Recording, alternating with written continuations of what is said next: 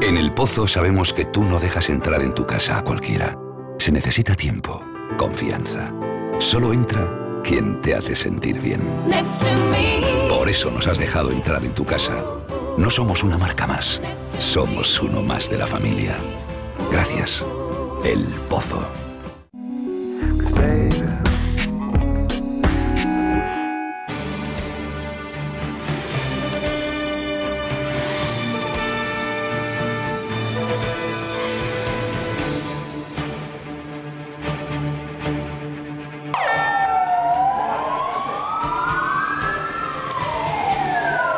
A la juez Carmen Lamela no le ha temblado el pulso. Contra todo pronóstico político periodístico ha ordenado el ingreso en prisión de Oriol Junqueras y ocho consellers del Gobierno de la Generalitat.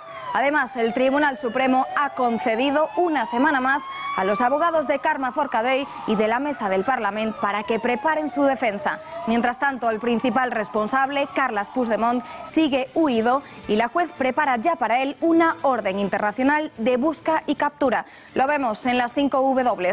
Los responsables del proceso separatista catalán, no sujetos a fuero parlamentario, han comparecido hoy ante la Audiencia Nacional, instancia encargada de ver los casos de malversación, sedición y de rebelión de los que la Fiscalía General del Estado les acusa tanto a ellos como a su líder huido Carles Puigdemont, que hoy, mientras sus cómplices en la comisión de tan gravísimos delitos comparecían ante la juez Lamela, aparecía degustando plácidamente, plácidamente un café en un céntrico bar de Bruselas muy cercano al Parlamento Europeo. Se prevé que mañana el Poder Judicial español emita la orden internacional de busca y captura contra el sedicioso y malversador expresidente de la Generalitat. Simultáneamente, sus cómplices, que sí acudieron a la llamada inapelable de la justicia, eran condenados a ingresar en prisión. Bien es cierto que provisional sin fianza por la juez Carmen Lamela. Todos menos uno. El ex vicepresidente de la Generalitat y sus ocho consejeros comenzarán a dormir a partir de hoy en las prisiones de Extremera los hombres y de Alcalameco las mujeres. Vinieron creyendo que el Poder Judicial no se iba a atrever a aplicar la ley y esta noche pernoctarán todos en la cárcel. Solo podrá salir Santi Vila, ex conseller de empresa, que 24 horas antes dimitió para no tener que votar en la declaración de independencia. Cuando reúna los 50.000 euros de fianza, podrá salir de prisión. Han tenido más suerte sus cómplices de la mesa del Parlamento catalán, que a pocos metros de la Audiencia Nacional comparecían ante el Tribunal Supremo. Los abogados de Carme Forcadell y de los demás miembros de la mesa del Parlamento han alegado falta de tiempo para preparar sus defensas de sus clientes. Por ello, el magistrado les ha concedido una semana de plazo para armar el argumentario de la defensa. Tendrán que comparecer ante el Supremo, dada su condición de aforados, el próximo jueves día 9. Editorial con Eduardo García Serrano. Thank you.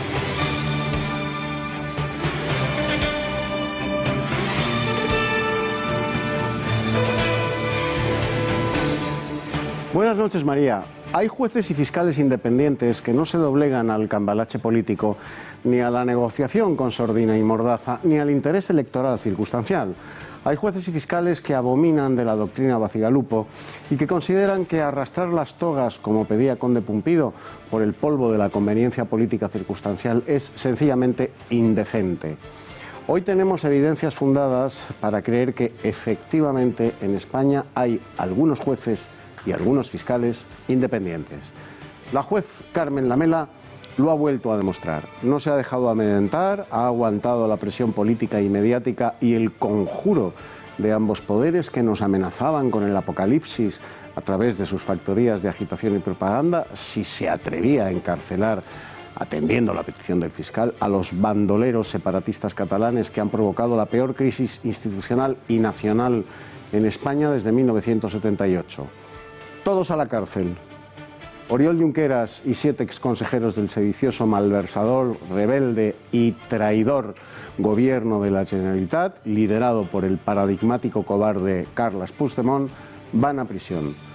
Todos, mientras la orden de búsqueda y captura, el legendario Wanted del Far West contra el cobarde Puigdemont, mañana estará en todas las comisarías de la Unión Europea.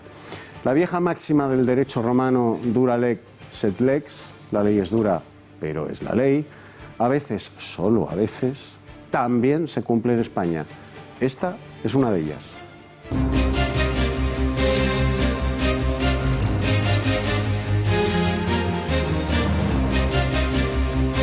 Yihadista que el pasado martes asesinó a ocho personas e hirió gravemente a más de 12 en Nueva York debería, según el presidente de los Estados Unidos, ser encarcelado en Guantánamo por tratarse de un combatiente enemigo. Además, Donald Trump ha dicho en un tuit que debería ser condenado a muerte, pena abolida en el estado de Nueva York, donde la máxima condena es la cadena perpetua.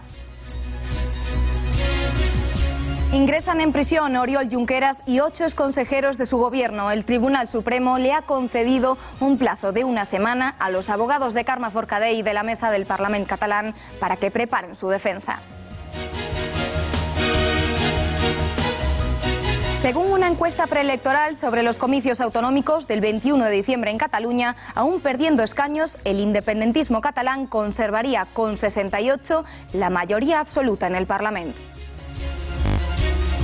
En nuestra sección de Cita con la Historia hablaremos hoy con Fernando Paz, profesor, historiador y escritor de la figura universal de Cristóbal Colón, cuya cuna y origen siguen en disputa. ¿Dónde nació realmente? ¿Quiénes fueron sus padres? ¿Tienen legitimidad histórica para atribuírselo a naciones como Italia, que en el siglo XV ni siquiera existían?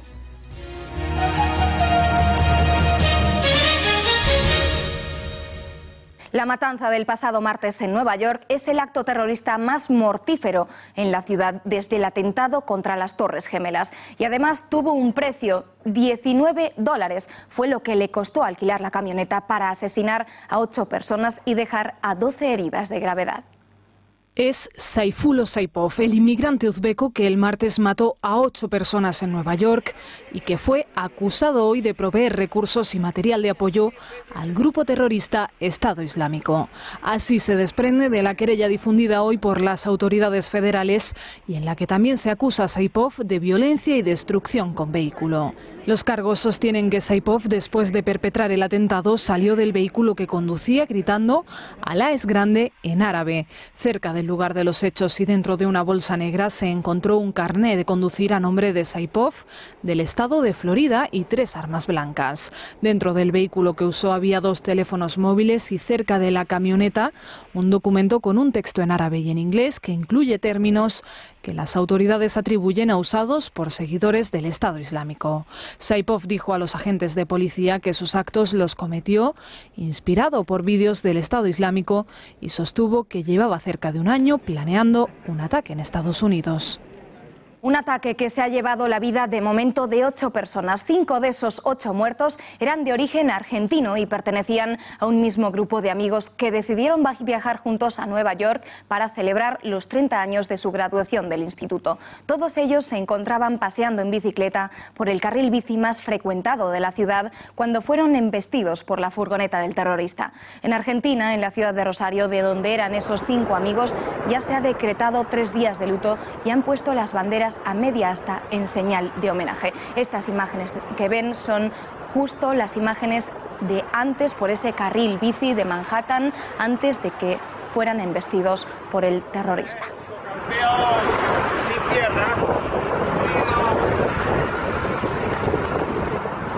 El presidente de Estados Unidos, Donald Trump, ha insistido en los límites de la inmigración como solución al terrorismo y ha pedido la pena de muerte para el atacante del ISIS.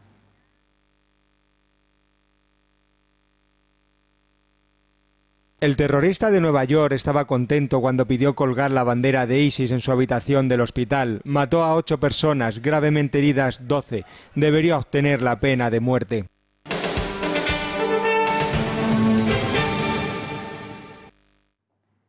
Estos son los seis miembros de la mesa del Parlamento que permitieron que se votase ilegalmente la independencia de Cataluña y que hoy han acudido al Tribunal Supremo acusados de rebelión. El alto tribunal ha aplazado hasta el próximo jueves, día 9, la declaración de Karma Forcadell y de los otros cinco miembros de la mesa del Parlamento. El juez ha aceptado la petición de los abogados que han argumentado que no han tenido tiempo para preparar las defensas por el delito de rebelión, aunque eso sí, les han puesto vigilancia policial durante toda la semana y han tenido que entregar sus teléfonos móviles. Nada más salir del tribunal, la presidenta del Parlamento, Carme Forcadell, ha publicado un tuit en las redes sociales en el que decía que ya estaba en casa y mandaba apoyo a sus compañeros independentistas que se encontraban en la Audiencia Nacional acusados también de rebelión. Y estas que van a ver son las caras de los miembros del Gobierno que hoy han sido llamados a declarar en la Audiencia Nacional de Madrid por los delitos de rebelión, sedición y malversación. De los 13 consejeros no han ido cuatro a declarar porque siguen fugados en Bruselas con Puigdemont para evitar la acción de la justicia. En estos momentos, la juez Lamela ya prepara para Carles Puigdemont una orden de busca y captura internacional. Ya ayer, el expresidente de la Generalitat enviaba un comunicado diciendo que no han ido a declarar porque estas citaciones solo buscan castigar ideas y que lo que hacen es huir del juicio político, no de la justicia. Lo que pretenden estos cinco huidos es declarar por videoconferencia desde el país belga. Y estos, los que hoy mismo se han presentado a aclarar, son los que ahora mismo se encuentran en prisión sin fianza en hasta varias cárceles, en dos de ellas. La juez Carmen Lamela entiende que hay riesgo de reiteración delictiva, de destrucción de pruebas y también de riesgo de fuga. Recordamos que el ex vicepresidente de la Generalitat, Oriol Junqueras, y los otros siete consellers están acusados de delitos de rebelión, sedición y malversación de caudales públicos. Todos los exconsellers se han negado a responder a las preguntas de los fiscales de la Audiencia Nacional, excepto uno. ¿Quién ha sido? Laura Fernández Cañas. Buenas noches. Cuéntanos. Buenas noches, María. Pues sí, como bien dices, el único exconsejero que ha accedido a responder a más partes y no solo a sus abogados fue el exconsejero de empresa Santi Vila, que ha declarado durante 40 minutos más que el resto de imputados, que lo han hecho solo durante 5 minutos y solo respondiendo a las preguntas de sus abogados. Esto pudo haber influenciado en la decisión de la jueza Lamela, que le dio la, oportunidad de librarse de la cárcel eh, pagando una fianza de 50 50.000 euros. Recordemos una suerte con la que no han corrido el resto de exconsejeros que han sido enviados directamente a prisión. Aún así, esta noche Santivila dormirá en la prisión de Aranjuez hasta que sea capaz de recaudar esos 50.000 euros. Gracias, Laura. Y a las puertas del Supremo, el letrado de Corominas, Xavier Melero, se ha mostrado rotundo al considerar que esta mañana, esta manera de actuar de Puigdemont de permanecer fugado de la justicia, perjudica al resto de acusados y que el expresidente tendría que haber acudido a declarar a Madrid. Yo no había pedido aplazamiento por razón de la prueba documental, yo lo había pedido exclusivamente para meditar de manera más pausada la estrategia de la declaración por parte de la defensa. En cuanto a las defensas que han solicitado que el aplazamiento por la prueba documental, el magistrado ha dicho que la prueba documental es la que hay en el Tribunal Supremo. A mi juicio, no ponerse a disposición de la justicia cuando eres llamado siempre perjudica al resto de coimputados. Y también lo cree el presidente del Consejo General del Poder Judicial, Carlos Lesmes, quien asegura que el deber de Puigdemont es comparecer ante la Audiencia Nacional. Eh, en relación con las personas que no han comparecido, eh, es que el deber es comparecer ante la citación de un juez. Y entonces, cuando no se comparece ante la citación de un juez en España o en cualquier otro país de la Unión Europea, pues normalmente se pusa una orden de detención. Es que esa es la situación normal aquí, en Bélgica, en Alemania, en Italia, en cualquier otro país. ¿no? Existe el deber de comparecer a la citación judicial. Pero es que hasta desde Podemos piensan que el expresidente de la Generalitat no lo está haciendo bien al huir y que debería haber venido a declarar han venido aquí a declarar, han venido aquí a, explicar por qué no son peligrosos sediciosos, sino son únicamente diputados, autonómicos y creo que el señor Puigdemont podría haber hecho, podría haber hecho lo mismo. Creo que que podría haber venido no aquí, sino a la Audiencia Nacional a, a declarar, como va a hacer hoy Joan Josep Nuet en este, en este Tribunal Supremo. ¿Y qué estaba haciendo Puigdemont mientras el resto del gobierno estaba declarando en la Audiencia Nacional y que en estos momentos se encuentran en prisión? Pues tomarse tranquilamente un café mañanero con uno de sus hombres de confianza, con el empresario Josep María Matamala, que fue ex concejal de CIU en el Ayuntamiento de Gerona y que parece ser que es quien le está pagando su estancia en Bruselas. Y es que el expresidente de la Generalitat lleva toda la semana sorprendiendo con sus movimientos a todo el mundo, incluso a los propios miembros de su partido. Vamos a repasar qué es lo que Puigdemont ha hecho desde que se declaró la independencia en el Parlamento. Un día después de la proclamación de la República Independiente de Cataluña y del cese de todo el gobierno catalán, Carles Puigdemont dedicaba el sábado a disfrutar de un día en familia y amistades en Gerona. Ese día se emitía un comunicado que había grabado apenas una hora antes. Domingo almorzó con su abogado Jaime Alonso Cuevillas y parecía que asistiría al partido entre el Gerona y el Real Madrid. Sin embargo, su escolta le dejó en casa y la siguiente pista que hay le situaba en un vehículo Mercedes sin escoltas en un trayecto con paso por Marsella y destino Bruselas lunes 10 y media de la mañana. Mientras miembros del gobierno catalán acudían a sus puestos de trabajo, el PDCAT esperaba que llegase para iniciar la reunión. No obstante, el presidente cesado y cinco de sus miembros estaban en Bruselas, un viaje organizado en secreto del que solo han trascendido sus contactos. El martes Puigdemont daba una rueda de prensa y aseguraba que no se encontraba en Bruselas para pedir asilo, al mismo tiempo que decía que si se le ofrecían garantías, volvería a España de inmediato. Esta mañana se le esperaba para declarar. Desayunaba con su amigo Josep María Matamala mientras su vicepresidente Uriol Junqueras y buena parte de sus consejeros llegaban a la Audiencia Nacional. Bueno, y aunque parezca mentira, desde el PDCAT aseguran que Puigdemont está mostrando predisposición de cooperar con la justicia. Puigdemont sigue siendo el presidente de la Generalitat, es nuestro presidente, el, 130 presidente de la Generalitat, uh, pues supongo que forma parte también de, bueno, pues judicialmente de una estrategia judicial uh, para trabajar conjuntamente, pero bueno, la verdad es que él ya se expresó muy claramente que quiere pues colaborar uh, con la justicia, se han también ofrecido a hacerlo por videoconferencia, a declarar por videoconferencia, con lo cual creo que su predisposición es máxima. En Esquerra, Joan Tarda cree que este juicio es político y de venganza. Desde Izquierda Unida, su líder, Alberto Garzón, tilda esta situación de despropósito jurídico y desde la CUP aseguran que es un linchamiento judicial. Es un día en el cual un conflicto que es evidentemente de naturaleza política se pretende resolver judicialmente y, este conflicto, que precisamente porque es de naturaleza política, seguro que no se va a resolver judicialmente, y menos con uh, políticas que parecen a veces más, uh, más de la venganza que no de la justicia en este sentido. Uh, además, estamos, aquí estamos concretamente viendo cómo se juzga a miembros de la mesa sencillamente por haber llevado debates al Parlamento de Cataluña que en la sociedad catalana se estaban debatiendo directamente en la sociedad. Un despropósito jurídico, la querella no solo incurre en falsedades evidentes, en las que muchas de estas personas que están ahora mismo afectadas van a defenderse con respecto a ellas, hablamos de una querella improvisada y una querella que además tiene el objetivo de intentar resolver un problema que es de naturaleza política. Por lo tanto, es una querella que lo único que va a conseguir es agravar el problema y no resolverlo. Aquest atac repressiu des de les institucions de l'Estat i també a atiar la fractura social des dels carrers, atiar l'extrema dreta, atiar el linxament públic dels que som cares visibles de l'independentisme als carrers, un linxament que gaudeix de la impunitat total mm, d'aquestes estructures judicials que no són independents i que ens demostren amb la seva impunitat cap a l'extrema dreta precisament que no són independents.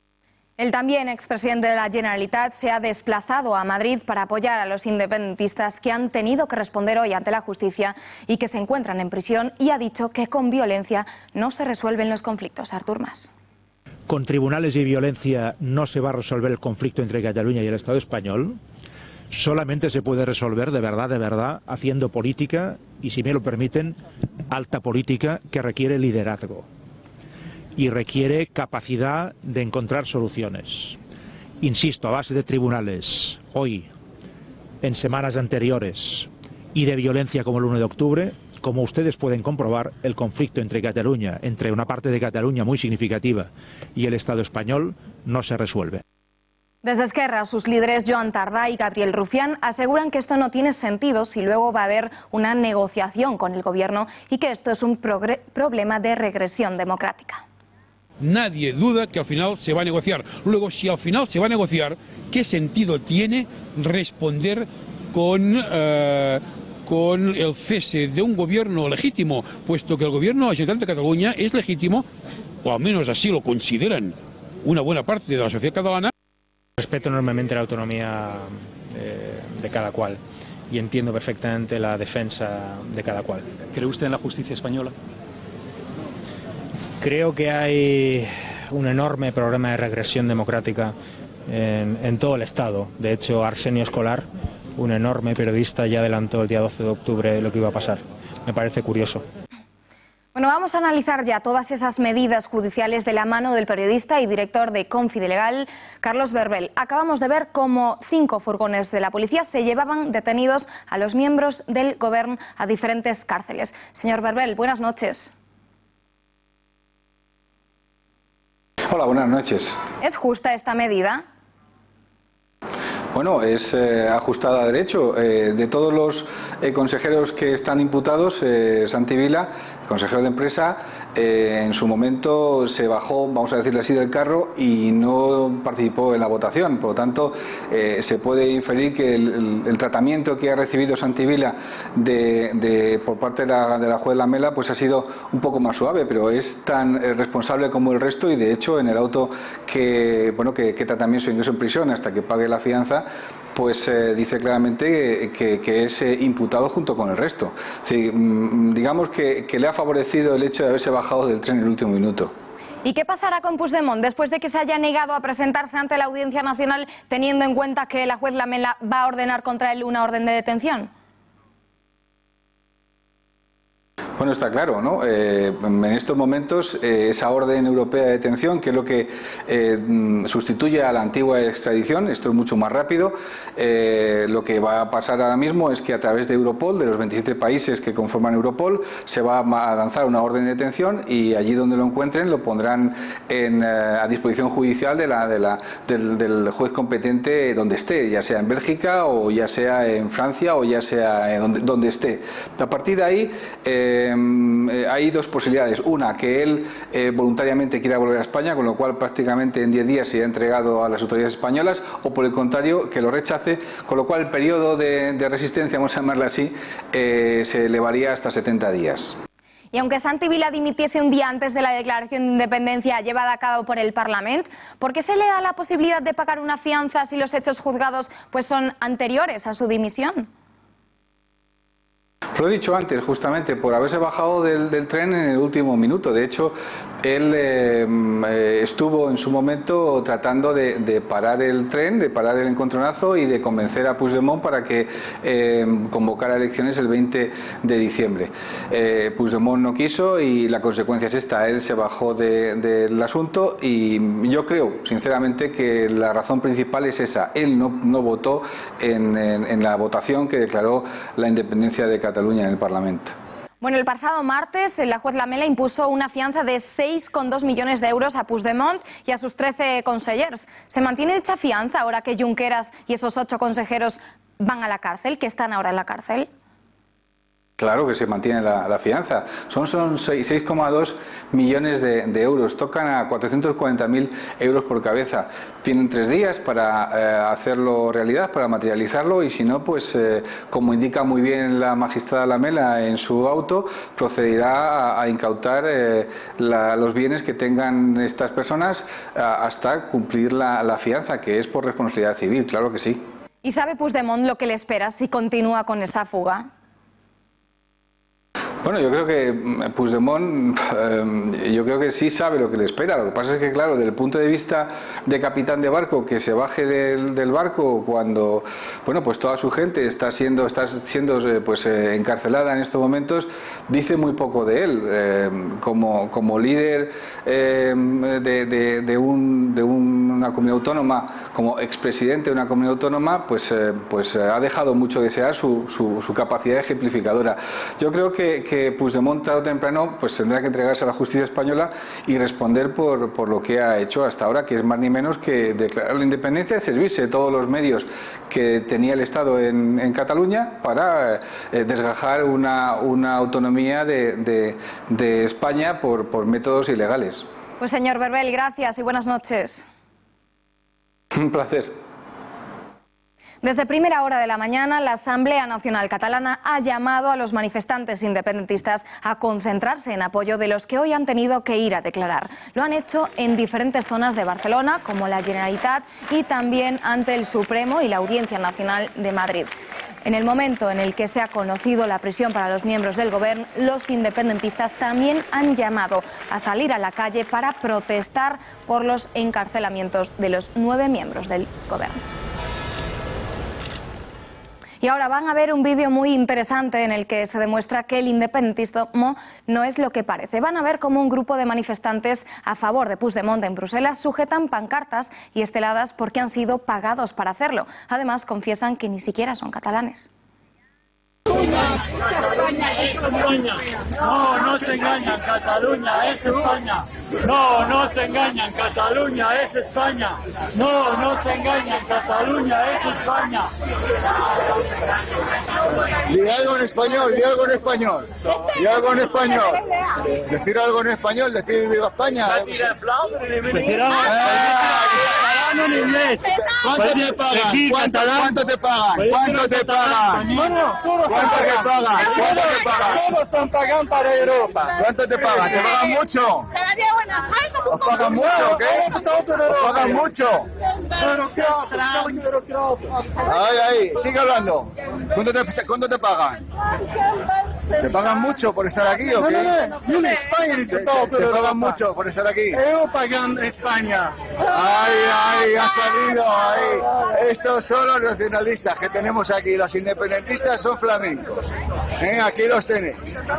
Esta vergüenza. Desde el pasado viernes, Carles Puigdemont y los hasta entonces consejeros de la Generalitat ya no cobran su nómina como miembros del gobierno catalán tras haber sido cesados por el gobierno de España al aplicar el artículo 155. ¿Cómo son ahora las cuentas del gobierno cesado de Cataluña? ¿Quiénes seguirán cobrando su sueldo y quiénes no? Alba Vila, muy buenas noches. Cuéntanos. Buenas noches, María. Pues algunos exconsejeros que perderán la nómina del gobierno catalán podrán recibir el sueldo de diputado autonómico. ¿Quiénes son? Pues lo vamos a ver aquí ahora mismo. Entre ellos, Uriol Junqueras, Jordi Turul, Raúl Romeva, Josep Rull, Toni Comín y Dolors Bassa. Otros, como Joaquín Forn, Clara Ponsantí, Carles Mundo Santivila o Merichel Borràs, no recibirán su nómina el próximo mes. Los 135 diputados elegidos en 2015 verán reducido su sueldo hasta que se constituya la nueva Cámara Catalana el 21 de diciembre. ¿Y qué ocurre con Puigdemont? Pues primero tendría que reconocer que no es el presidente de la Generalitat de Cataluña y a partir de aquí sería cuando contaría con el derecho de gestionar una pequeña oficina, un despacho, un par de personas y un chofer. Pero atención, Carles Puigdemont gozaría de un sueldo durante los próximos cuatro años del 80% del total de lo que ha cobrado hasta ahora. Es decir, si este 2017 tiene un presupuesto de 11.600 euros, podría cobrar algo más de 9.300 euros mensuales. Así se establece en la ley de expresidentes de la Generalitat, pero para ello ha de solicitarlo asumiendo su cese. Eso sí, sería el gobierno de España quien daría el visto bueno. Las cuentas incluso van más allá. Cuando Puigdemont llegue a los 65 años podría percibir el 60% de su sueldo, casi 7.000 euros al mes. Y todos estos datos no varían si Carles Puigdemont es encarcelado, María. De acuerdo, Alba, muchísimas gracias. Y la entrada en prisión de Junqueras y ocho consejeros de la Generalitat que presidía Carles Puigdemont ha suscitado la duda de si los encarcelados podrían presentarse a las próximas elecciones autonómicas. Y en ese caso, ¿qué sucedería si fueran elegidos diputados? ¿Podrían salir de prisión? Javier Torres, buenas noches. Buenas noches, María. Tanto Junqueras como los ocho exconsejeros de la Generalitat que han entrado en prisión podrían presentarse normalmente a las próximas elecciones autonómicas catalanas. En el caso de que fuesen elegidos diputados, el caso que ahora mismo está llevando la Audiencia Nacional pasaría al Tribunal Supremo. ¿Qué juez se encargaría del caso? Pues eh, Pablo Llaneras, que, es, que está precisamente juzgando a la mesa del Parlamento catalán. Sería Llaneras, tras consultar con la Fiscalía, el que decidiera si estos ocho exconsejeros y el propio Junqueras quedasen en libertad. Hemos consultado a fuentes jurídicas y nos han, nos han comentado que el tiempo establecido en, en, esa transición de la audiencia al Supremo podría ser 15 días, podría ser 30 días, eso lo decidiría el magistrado. Pero, muy importante esto, en ningún caso quedarían en libertad. Gracias, Javier. Y el Ayuntamiento de Barcelona, presidido por Ada Colau, ha votado hoy considerar a Puigdemont como presidente legítimo de Cataluña. El partido de la alcaldesa se posiciona así en el independentismo. Cataluña. Pues no, no soy independentista, pero evidentemente soy demócrata. Y si soy demócrata, considero que los presidentes solo son legítimos cuando son elegidos por un parlamento que ha sido elegido por la ciudadanía. No cuando son fruto de un, o sea, no cuando por la imposición se pretende cesarlos y sustituirlos de manera nada democrática. Y por lo tanto, sí, considero que aunque esté cesado, evidentemente está cesado, pero es legítimo aquel que ha sido elegido por la ciudadanía de Cataluña. Y hace apenas una hora la alcaldesa de Barcelona, Ada Colau, ha vuelto a hablar. Nos vamos en directo hasta nuestra redacción para saber qué es lo que ha dicho Pepe García Saavedra. Buenas noches. Muy buenas noches, María. Pues Ada Colau ha asegurado que el encarcelamiento de los exconsejeros catalanes es un gravísimo eh, error político y un despropósito jurídico. La alcaldesa de Barcelona ha acusado directamente a la jueza de la Audiencia Nacional, Carmen Lamela, de actuar desde un espíritu de venganza y de intentar humillar a las instituciones catalanas y sus representantes legítimos. Colau ha mandado un mensaje de apoyo a los exconsejeros catalanes que han sido enviados esta tarde a la cárcel y también a Puigdemont y los cuatro otros consejeros que se encuentran fugados en Bruselas. Ha dicho que ellos representan el gobierno eh, legítimo de la Generalitat. La líder de Cataluña en Comú, por otro lado, ha propuesto a los soberanistas un frente común para pedir a la amnistía de lo que considera son presos políticos catalanes y ha extendido este Frente Común a parar la, aplicación del artículo 155. Por último, haciendo caso omiso, la división de poderes ha acusado directamente al Gobierno de emprender una espiral represiva y ha pedido, por último, concluyendo su mensaje, ha pedido la inmediata libertad de los consejeros catalanes y de los Jordis. Gracias, Pepe. Muchas gracias. El independentismo mantiene por la mínima la mayoría absoluta en el Parlamento de Cataluña. El sondeo de sociométrica para el español, el primero tras la huida de Carles Puigdemont a Bruselas, da la mayoría absoluta a los partidos favorables a la independencia. Estas candidaturas sumarían 68 diputados, suficientes para imponer la mayoría en el Parlamento. Aunque aún, lograrían aunque aún no lograrían la victoria, los partidos secesionistas caen cuatro escaños respecto a las elecciones autonómicas del año 2015. Hoy en Comú Podem, Xavier Domenech ha instado a todos los partidos democráticos a incluir en sus programas electorales para el 21 de diciembre una promesa de amnistía para los encausados por el conflicto en Cataluña y también la anulación del artículo 155 de la Constitución. Ante esta situación, que es una situación, repito, gravísima para Cataluña y para España, nosotros pedimos que los partidos que se presentan a las, coaliciones o partidos que se presenten en las candidaturas diversas que pueda haber en las elecciones autonómicas del 21 de diciembre tengan dos puntos comunes en esas candidaturas democráticas. El punto de amnistía, efectivamente, esto solo se podrá resolver si se acaba la judicialización, y el segundo punto es la uh, anulación de la aplicación del 155.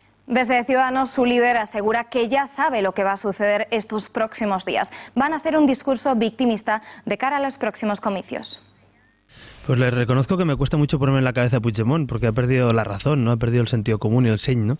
Eh, pero yo entiendo que lo que quieren es victimizar un poco más, alargar un poco más esta agonía del procés, a ganar, a acabar unos eh, en los últimos tramos de nuestros últimos coletazos. Yo, yo estoy convencido de que no le va a funcionar, que ni a nivel internacional ha tenido ningún apoyo y me atrevería a decir que en Cataluña, incluso quien no, es, quien no es constitucionalista, los propios independentistas están un poco desconcertados. ¿no?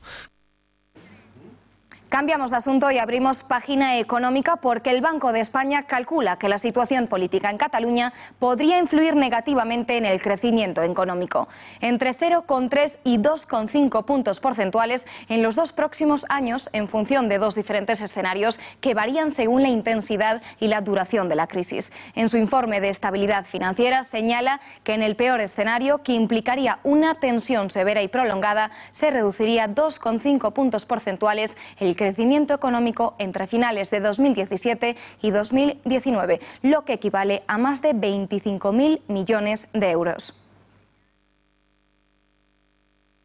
Aunque la fuga de empresas se ha ralentizado, tan solo en el día de hoy se han ido 99 entidades de Cataluña. Esta huida afecta ya a cerca de 2.000 empresas, es decir, casi cuatro empresas han salido de esta región cada hora desde el día 2 de octubre. Esta fuga de empresas ha desatado el nerviosismo en toda la región, pero también en el resto de España. Para analizar todos estos datos, saludamos ya al economista Rafael Pampillón. Señor Pampillón, buenas noches. Hola, buenas noches. Decíamos que casi 2.000 empresas se han ido en el último mes de Cataluña por la inestabilidad política. ¿Es también una mala noticia para el resto de España? Bueno, para España siempre es una mala noticia que una parte, que una región vaya a peor porque en la medida en que colapse Cataluña, eh, el resto de España le podrá vender menos cosas a Cataluña. Nos interesa que Cataluña funcione, que Cataluña tenga un crecimiento rápido, que se genere empleo eh, y que no entre en una situación de disturbios, de huelgas, que desgraciadamente van a llevar a una situación económica lamentable para Cataluña. Y eso es también algo malo para el resto de España. Las grandes empresas tienen la ventaja pues, de poder cambiar su domicilio social cuando quieran, pero las pymes, por ejemplo, no pueden hacerlo. ¿Son, son pequeñas y medianas empresas las más perjudicadas? Bueno, se van a perjudicar más, efectivamente, porque no se trasladan con tanta facilidad, porque son empresas que tienen sentido en el arraigo del lugar donde, donde trabajan. Eh, tiendas, eh, pequeños hoteles, es difícil que se vayan de un sitio a otro. Y en cambio las grandes empresas sí que se van. Por tanto, mm, la, reducción de ventas, la reducción del consumo, em, el, menor empleo que se puede producir en Cataluña eh, va a generar que pequeñas y medianas empresas sufran, incluso algunas tengan que cerrar. Y por último, vimos que la bolsa bajó de manera brusca cuando la Generalitat declaró la independencia o el día después del referéndum ilegal. ¿Cuánto perjudica a la economía española ese frenazo de las inversiones extranjeras, por ejemplo? Bueno, eh, el frenazo de las inversiones extranjeras y de las inversiones españolas que también están esperando a ver qué pasa.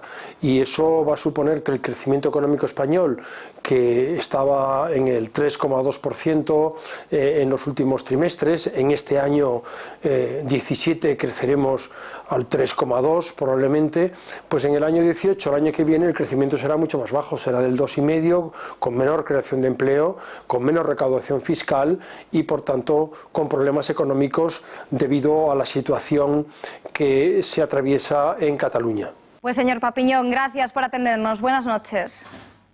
Gracias a ustedes. Buenas noches.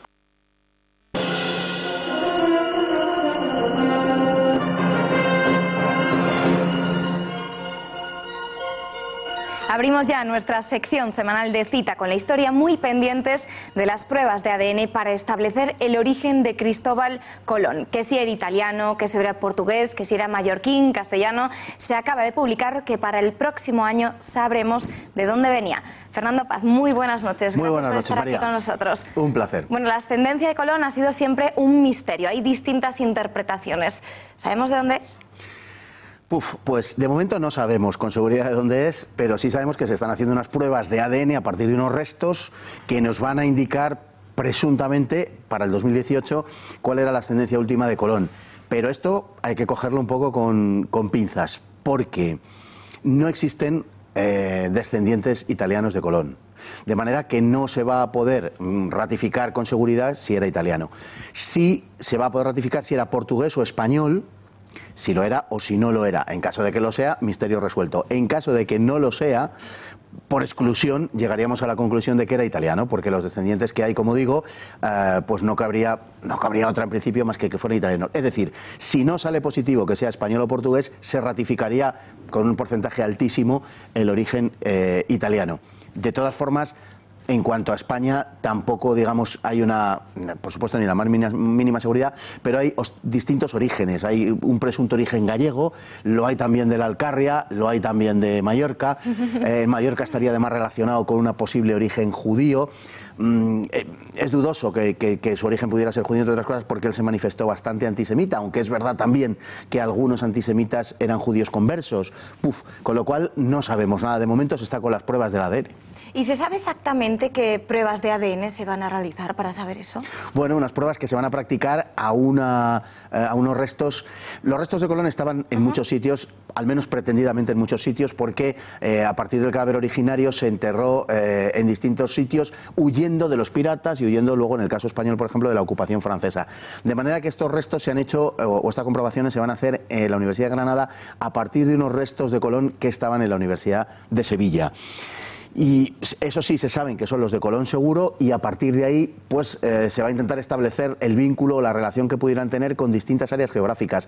Mm, eh, va a ser muy complicado, eh, en mi opinión, va a ser muy complicado establecerlo con seguridad por la razón que digo.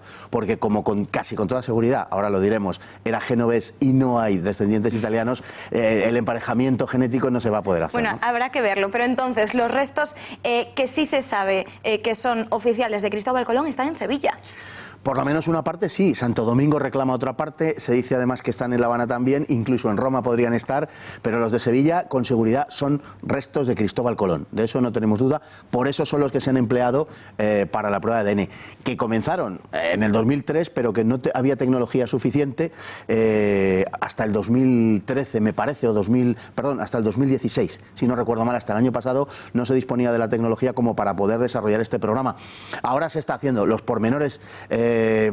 Científicos los ignoro, ¿no? De cómo, cómo puede funcionar eh, en concreto, pero desde luego sí eh, ha trascendido que hasta el 2016 no se podía hacer la prueba, pese a que se disponía de los restos desde 13 años antes. Y Paz, ¿por qué nunca se ha sabido de dónde provenía? ¿Hay alguna razón por la que él quisiera ocultar su origen?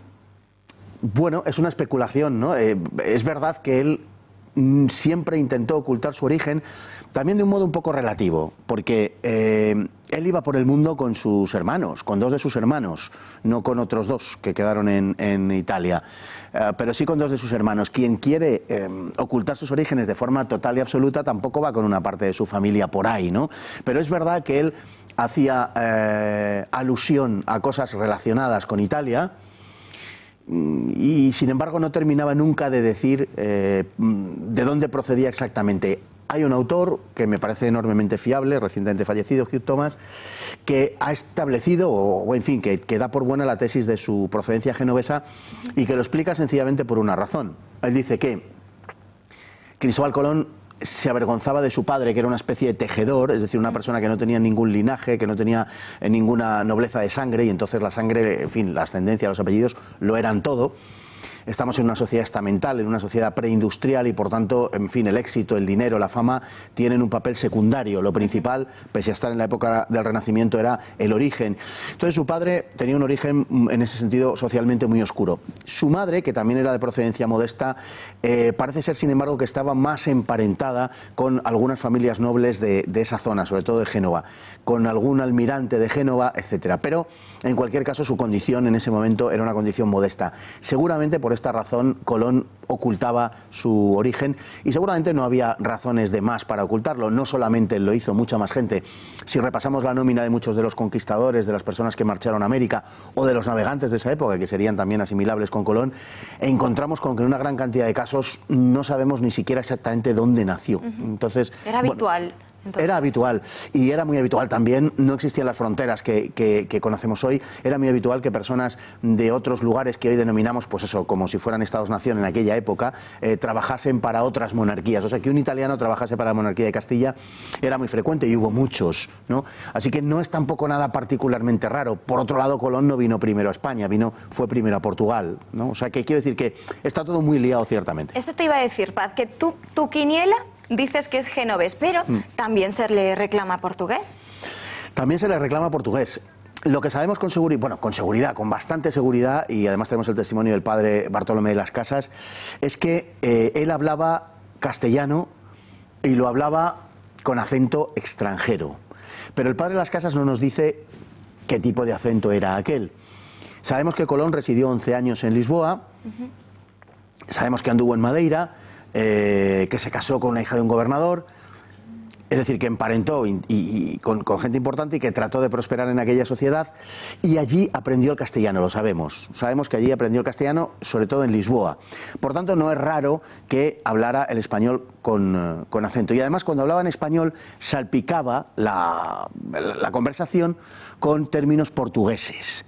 ¿Mm? O sea que realmente eso nos da para establecer que español no era de origen casi con total seguridad, aunque pudiera tener un origen remoto, pero de inmediato no parece que fuera español o que se hubiera educado en España, desde luego, y que además el portugués lo conocía muy bien y lo utilizaba como primera o segunda lengua. Incluso dicen que gallego. Sí, hay un origen remoto, pero se remontaría al siglo XIII. Hay un origen que dice que su familia originariamente pudiera haber venido de Galicia. Eso va a ser muy complicado de demostrar a través de las pruebas de ADN, pero quizá, sería, eh, por lo que sabemos hasta hoy, es el modo quizá más directo eh, de poder establecer una cosa así. Mm, Gallego, pues yo, en fin, tengo mis dudas. Yo, creo que todo apunta con bastante fuerza a que él era genovés. Eh, hay veces que se dice, por ejemplo, que él rehusaba escribir en italiano y por tanto eso demostraría que no era genovés, lo cual no es verdad porque en Génova no se hablaba lo que entendemos como italiano, sino que se hablaba un, eh, idioma, un dialecto propio de la zona que además prácticamente no se escribe, con lo cual es lógico que él empleara otro idioma puesto que el genovés no se escribía, ¿no? Eh, y ahí escribía mucho en español, en castellano y escribía mucho en portugués, por tanto, y en latín, por tanto no tiene nada de particular que no escribiera en italiano, no es una prueba en contra. Pero si era genovés, entonces tampoco ocultó tan bien esos orígenes. No, no los ocultó también, claro que no. Es más, él siempre sugería que tenía especiales lazos con Italia. Por ejemplo, él, él mantenía que eh, había estudiado en la universidad, si no recuerdo mal, de Pisa, me parece que decía. Eh, lo cual se demostró, por cierto, que era falso, que él no había estudiado allí. ¿eh? O sea, él, él era un hombre, al decir de algunos que le conocieron, era un hombre de conversación bastante simple, un hombre sin eh, unos grandes conocimientos intelectuales, aunque sí eh, como marinero, pero no unos grandes conocimientos intelectuales. No parece que hubiera leído demasiado, que tuviera excesivo conocimiento. Nadie se creyó que fuera universitario en aquella época, pero es indicativo el hecho de que él eh, dijese que había estudiado en Italia y no en ningún otro sitio. Por otro lado, en su testamento prácticamente todo se lo deja a unos amigos genoveses, curiosamente, con excepción de uno de ellos que me parece que es un judío portugués, pero el resto son todos genoveses. Y él, cuando, tuvo, cuando pide en España a él uh, la concesión de un mayorazgo. Eh, al rey, él, eh, bajo juramento, dice que es genovés, que él ha nacido en Génova. Eso tampoco es una prueba 100%, digamos, seguro, podría estar mintiendo, sí, pero todo parece apuntar en la dirección de que él era genovés y además en alguna ocasión llegó a comentar que él cuando se retirase se iría a vivir a una casa en Génova. O sea que mm, realmente yo creo que hay, hay, hay pocas dudas, lo que pasa es que no creo sinceramente que haya más dudas de las que hay con muchísimos de los personajes de esa época acerca de sus orígenes. Lo que pasa es que en el caso de Cristóbal Colón adquiere una dimensión particularmente Claro. grande por la figura que es, ¿no? Y también porque el hecho de no ser castellano o español en sentido más extenso, eh, al haber descubierto América, pues hace que eh, la cuestión se mistifique, ¿no? Realmente el descubrimiento de América es obvio que fue una empresa española, el- los barcos eran españoles, la las tripulaciones también, el dinero era español, la empresa era española, la empresa era castellana, pero eh, hubo un italiano al frente de esto y entonces eso ha servido para que algunos al 12 de octubre le llamen el Italian Day, por ejemplo, o el. Columbus Day, y da- trastocando un poco la realidad de las cosas. ¿no? ¿Y por qué es tan importante saber de dónde proviene, saber su nacionalidad? Es que realmente en- es, es un dato para la historia, indudablemente, y es un dato interesante en cuanto a que, bueno, pues eh, hay que establecer de cómo son los hechos y cómo son las cosas. Pero casi, casi se queda ya a estas alturas algo más que como, como un dato de casi, podríamos decir, de erudición. Realmente no tiene tanta importancia. El descubrimiento de América, como digo, lo efectuó quien lo efectuó. Los grandes navegantes de la época, muchos eran genoveses, que estaban extendidos por todo el Mediterráneo y por algunas eh, islas del Atlántico. Eh, había otros muchos que eran portugueses, todavía en mayor medida, castellanos también. Era una especie de totum revolutum que había ahí en esa zona del suroeste eh, europeo que era un centro de tráfico de marfil, de esclavos, eh, en fin, de todo tipo de, de productos, el sur de la península sobre todo. Y, y, bueno, no, no tiene tanta importancia realmente. Había muchos italianos, por ejemplo, al servicio de la corona de Castilla, de la corona de Portugal, portugueses al, al servicio también de Castilla. La primera expedición que sale para dar, la- bueno, no salió para eso, pero que en definitiva terminó dando la vuelta al mundo, estuvo dirigida por Fernando de Magallanes, que era judío, que perdón, que era portugués, aunque la acabó rematando eh, Juan Sebastián Elcano, guipuzcoano. No, no existía esa diferencia, digamos, nacional, como luego hemos conocido en Europa, sobre todo a partir del siglo XVIII con el establecimiento de los estados-nación que se correspondían con fronteras estatales. Eso en esta época no existe, no hay fronteras, hay castellanos que van a estudiar a, a Flandes, hay ingleses que van a estudiar a Francia, italianos que vienen a estudiar a España. Claro. O sea, no existe esas fronteras, no existen para nada las fronteras que luego hemos conocido en Europa. De manera que tiene la importancia del dato erudito, pero no tiene una importancia, digamos, que vaya a cambiar la historia, ¿no? De acuerdo, Paz, historiador Fernando Paz. Pues muchísimas gracias por habernos acompañado. Ya veremos el año que viene si tienes razón, si es genovés. Yo digo que es gallego. A ver quién tiene razón. Pues, Muchísimas gracias. Me gustaría que conste que la tuvieras tú, lo que pasa es que me temo que no va a ser así. Ya veremos. Gracias. Un Buenas placer. noches. Buenas noches.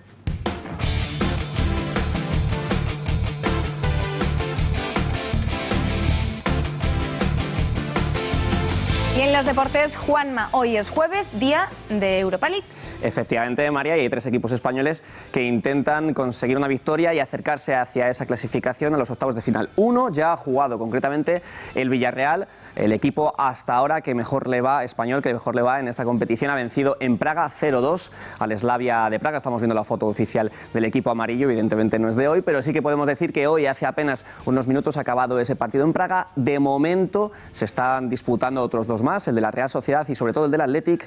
El equipo bilbaíno necesita sí o sí ganar para continuar en Europa League. Vamos ya con el asunto del día, lo habéis hablado María eh, ampliamente en este informativo, la detención de Oriol Junqueras y otros siete consejeros de la Generalidad. Bueno, pues el, de, el Lleida, evidentemente, hay varios equipos que se están mojando, algunos eh, de ellos, como por ejemplo el que estamos viendo ya en pantalla. El Lleida Deportivo ha tuiteado esto hace apenas unos minutos, libertad para los presos políticos, como ellos lo califican. Así que el equipo del norte de Cataluña es uno de los que está opinando. Otros deportistas que también se están mojando, por ejemplo, es Kilian Jornet, el que vamos a ver justo a continuación en pantalla. Es uno de los mejores eh, deportistas de alta montaña del mundo. Bueno, pues ha tuiteado eh, un tuit que Piqué ha retuiteado. Vamos a leerlo justo a continuación en inglés. Evidentemente ponemos la traducción en castellano. Cuando por falta de capacidad política la represión y el encarcelamiento se usan para silenciar ideas, queda patente la falta de democracia. Un tuit que una vez más eh, Piqué eh, una vez más, Piqué hace política desde su Twitter. No sabemos cómo sentará eso a muchos aficionados cuando vuelva a jugar con la selección española. ¿Y dónde estará Piqué? Si una lesión no lo impide, esperemos que no, será el próximo 23 de diciembre en el Santiago Bernabéu, porque esa es la fecha definitiva, ya se ha hecho oficial, se sabía eh, de manera extraoficial, pero bueno, ya podemos decirlo públicamente. El sábado 23 de diciembre a la una del mediodía un horario bastante extraño. Real Madrid y Barcelona se enfrentarán en el primer clásico liguero de la temporada. Un horario que beneficiará a los estadounidenses y los árabes que podrán ver en directo el partido. Un día antes de Navidad, dos días después de las elecciones catalanas. No sabemos si llegará Rafa Barán, que todavía está comenzando a entrenar en solitario para recuperarse de, su lesión con el Real Madrid. También en solitario lo está haciendo Usman Dembélé, un jugador que cayó en Getafe al inicio de la temporada, bueno, pues 49 días después. Estamos viendo la imagen que ha subido a su cuenta de Instagram, comienza a calzarse las botas y por fin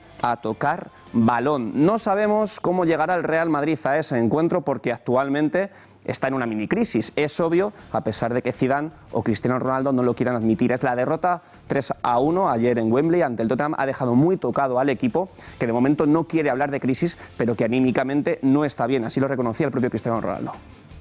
Bueno, tiene razón, fue lo que ha dicho antes, es una mala racha, pero queremos cambiar y estoy seguro que vamos a cambiar. Este es el, es el principio, tenemos eh, mucho tiempo todavía para eh, mejorar y estoy convencido que, que vamos a hacerlo. Bueno, por cierto, que también Cristiano Ronaldo reconoció que quizás los suplentes del equipo blanco no tengan el mismo nivel de competitividad que los del año pasado y que por eso pues estén llegando estos malos resultados. Mal resultado es este, el que estamos viendo por detrás para la Ponferradina, cuando quedaban solamente 30 segundos para el final del partido ante la gimnástica segoviana, ocurrió esto, un jugador de la Ponferradina solo delante del portero para rematar y el árbitro antes de que contacte el balón pita pues el final del partido. Los jugadores de la Ponferradina se llevaban las manos a la cabeza porque no podían comprender cómo el árbitro les había birlado, según sus propias palabras, el gol. Bueno, pues desde aquí hay que felicitar a Carlos Terrazas, el entrenador de la Ponferradina. Ojalá todos los técnicos tuvieran su fair play, porque así opinaba de esta jugada el principal damnificado. Muy difícil. Yo creo que todos nos equivocamos, los jugadores cometen errores, los entrenadores cometemos errores y los árbitros pues, también cometen errores, hay y forma parte del bueno, no se veía muy bien, pero lo que concretamente decía el entrenador de la Ponferradina es que los árbitros tienen un trabajo muy complicado y que ojalá todos eh, se mojasen y lo hiciesen, como en este caso el árbitro se podía haber equivocado o no, pero que según él había tenido valentía. Y otro que se ha mojado en sala de prensa es el entrenador de Lecija, que ante una jugada también polémica opinaba esto. Por lo tanto, me siento orgulloso, no, lo siguiente de ello. Orgulloso, no, lo siguiente, con mayúscula. Porque el sistema está corrompido y lleno de mierda. ¿eh? El sistema está corrompido y lleno de mierda. ¿eh? Así que enhorabuena al Mérida por los tres puntos y gracias. Bueno, así que unas declaraciones bastante polivias, María. Gracias, Juanma. Más en la web de Punto Pelota. Y a todos ustedes, muchísimas gracias por habernos acompañado. Nos vamos ya, pero no se vayan. Les invitamos a quedarse con tiempos modernos, con Gracias por Nada y con El Gato al Agua. Hasta mañana.